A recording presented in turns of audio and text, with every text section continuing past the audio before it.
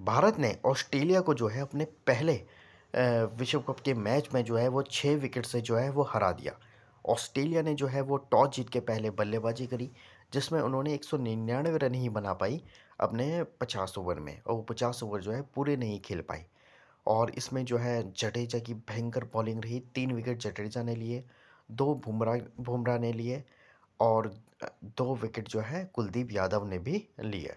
और भारत की तरफ़ से जो है वो शुरुआत बेहद ही ख़राब रही थी। दो के स्कोर पे जो है भारत के जो है तीन विकेट आउट हो गए थे। वो तो के एल राहुल और विराट कोहली ने क्या पारी खेली। इन दोनों की जो है पार्टनरशिप की बदौलत ही भारत ने जो ऑस्ट्रेलिया को जो है वो छः विकेट से हरा दिया। और के एल राहुल ने सत्तानवे, विराट कोहली ने पिचासी रन की पारी खेली।